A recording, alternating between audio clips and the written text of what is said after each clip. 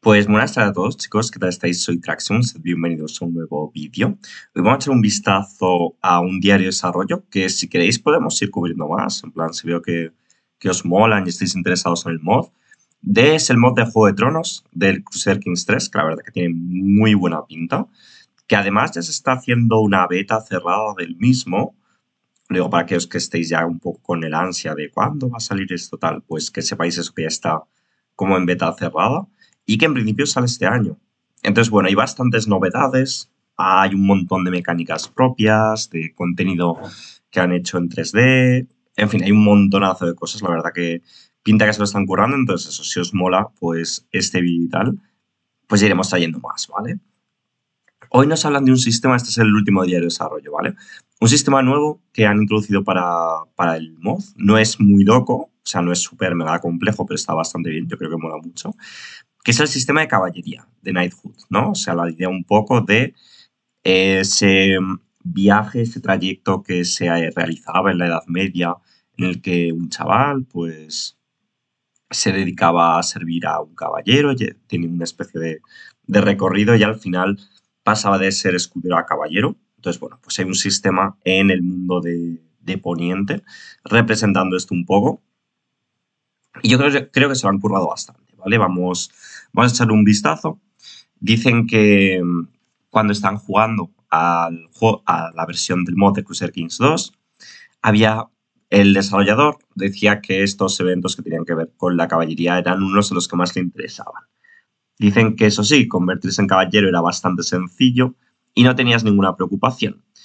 Y una vez estabas en el rol de escudero, asumiendo que no tuvieses un personaje que fuese muy malo, ¿no? siempre te acababan haciendo caballero a la edad de 16. ¿vale? Dicen también que en Crusader Kings 2 no se representaba la posibilidad de los personajes que de convertirse, eh, bueno, pues que no fueran FOTS, no sé qué significa, la verdad, de convertirse en caballeros y escuderos, como por ejemplo Jorah Mormont o Ser Barristan Selmy. Eh, creo que esto es Festín de Cuernos, no. Esto es A with Dragons, y esto pensaría yo que era Festín de Cuervos, pero no, no tiene sentido, ¿no? Pero bueno, dicen que han implementado un sistema simple, pero bastante robusto, ¿vale? Aquí tenemos el rasgo de escudero, vemos que atrae un poquito más la opinión y gana un poquito más de prestigio, ¿no? 0,10 de prestigio al mes, ahí lo estáis viendo. La primera parte del sistema comienza cuando eres un escudero, empezando a la edad de 9 personajes masculinos de cualquier fe y cultura pueden ser tomados como escuderos por un personaje, asumiendo que no tengan ninguna discapacidad física o que estén bien eh, mentalmente. Para ser más específicos, hay varios rasgos que te van a descalificar como persona de servir y convertirte en escudero. Ser ciego, ser enano, tener una sola pierna, una sola mano, etcétera, ¿no? Convertirse en un escudero se puede hacer de dos maneras distintas. La primera es que los personajes pueden utilizar la nueva interacción de ofrecer escudería. ¿no? Aquí estamos viendo oferta de, escudería, que más o menos está viendo entera. Y en este caso, Villar pasaría a ser un escudero, gana prestigio, gana opinión y ganas un escudero. ¿Vale? Em, dice que bueno, es una interacción bastante parecida a la que había en CK2 en segundo lugar, va a haber varios eventos que pueden aparecer en los que tengas personajes que te que hagan distintas ofertas de escudería a tus niños y a ti mismo si eres elegible. Por ejemplo, un, un Hedge Nine, creo que son como un caballero erizo humilde, ¿no? Un humilde caballero errante puede llegar a tu corte y pedirte eh, a uno de tus niños para convertirse en heredero. O incluso puede que un señor te eh, ofrezca a su hijo, como estamos viendo aquí, ¿no? En este, en este evento vemos que eh, pues te pueden acabar ofreciendo a su hijo en un momento dado. Me vais a perdonar porque no, porque no había música sonando. Pero bueno, aquí tendríais eh, cómo, le están, cómo es el Balder Frey, ¿no? Que está, está ofreciendo ahí a su, a su hijo. Tras convertirse en escudero, un personaje puede ver qué escuderos tiene en la pestaña de relaciones de los personajes. Aquí podemos ver a un joven Patrick Malister. ¿Vale? Vemos aquí relaciones, pues quién tienes tutelados, quiénes son tus amantes, tus escuderos y tus caballeros. Interesante.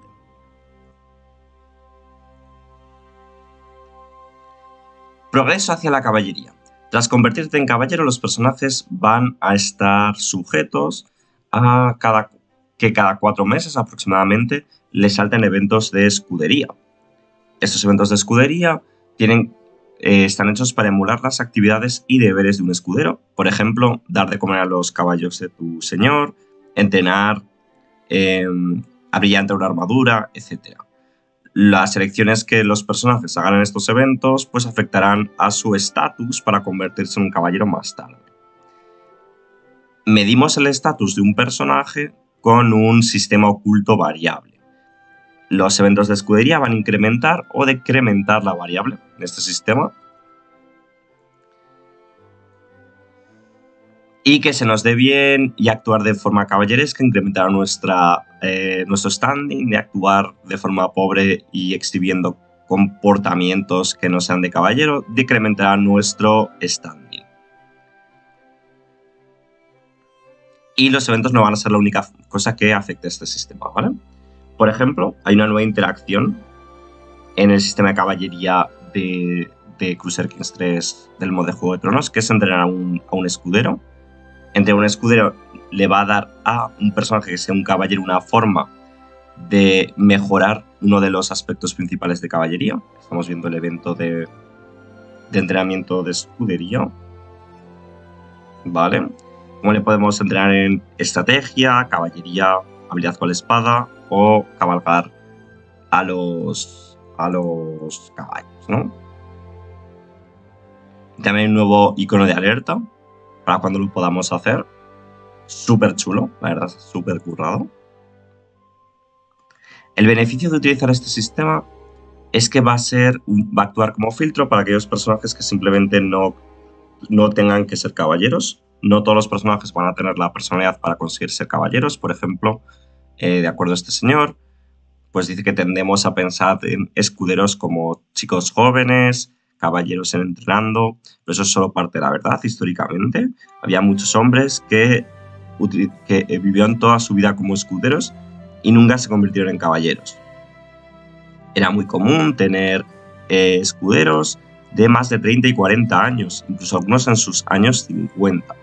Este tipo de hombres quizás no tenían la riqueza para convertirse en caballeros, ya que los caballeros tenían que pagar por su propio equipo, o quizá no tenían la inclinación.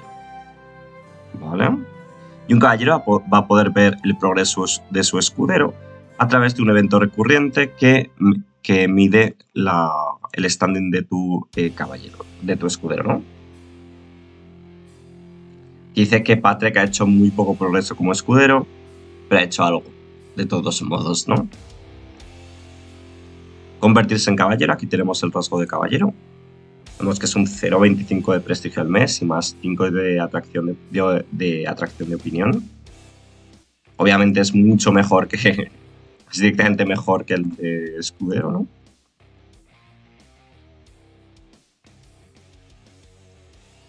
Bueno, una vez tu escudero haya reunido suficiente standing para convertirse en un caballero, genial.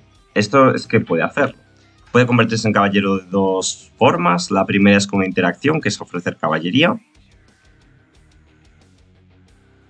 Y eh, esto hará que el personaje pues tenga que decir sus votos si será hecho caballero. No, no tiene más. Vale. Y el segundo método va a estar disponible en un punto más tardío gracias al standing de nuestro escudero, va a estar involucrado en ceremonias. Un escudero que haya aceptado una oferta de caballería bajo este método va a poder pedir una, una ceremonia, ¿no? Esta ceremonia va a estar representada por eventos, ¿vale? Aquí estamos viendo pues cómo salta el evento de la ceremonia, básicamente va a tener una posibilidad de tener un éxito, ¿no? O sea, no te garantiza que, que esta ceremonia vaya a hacer que el escudero sí o sí se convierta en caballero. Va a haber una ceremonia dentro de un septo en la cual el caballero, el, bueno, el, el escudero tiene que guardar vigilia. Si fracasa en esto, pues no conseguirá la escudería, ¿no? O sea, no conseguirá la caballería. Bueno, dice que hay personajes que no sean escuderos que también se pueden convertir en caballeros. Ya que un caballero te puede acabar haciendo caballero si, así, lo, así lo requiere. Tienes que tener al menos 16 años y tener eh, excepcional habilidad marcial y destreza, ¿no? Va a haber métodos como, por ejemplo, ganas un torneo en el cual un caballero ha estado participando y decide nombrarte caballero. Puedes comprar la caballería también.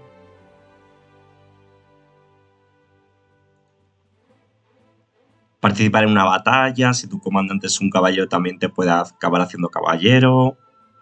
Y finalmente un caballero errante también te puede hacer caballero si aparece por tu corte. ¿Vale? Pueden convertirse los personajes femeninos del mod en caballeros. Hemos dicho que solo podían ser eh, hombres en principio. Pues sí que se pueden dar personajes estilo Bien de Zard. Tienen que tener una destreza muy, muy alta. Muchísimo prestigio. Y también tienen que ser muy alta su habilidad marcial. Es decir, que puede suceder, pero va a ser un poco eh, más complicado, ¿no? Y eso es básicamente todo. Dice, eso sí que para poder nombrar caballeros y todo esto, nuestra fe tiene que tener la doctrina de la caballería consagrada. Valiente sería una virtud. Craven creo que es retorcido, sería un, un pecado. Y ese tipo de cosas, ¿no? Así que, bueno, pues esto es un poco todo. Dice que, por ejemplo, una partida se ha dado que eh, Bran Stark se ha convertido en un escudero bajo Joffrey Lannister, o sea que pasan cosas un poco locas. Pero bueno, aquí están un poco las notas del parche de la beta cerrada que están haciendo, la versión 0.02. Así que bueno, poco a poco, chicos, va avanzando este mod. Poco más que decir, nos vemos en el siguiente vídeo. Chao, chao.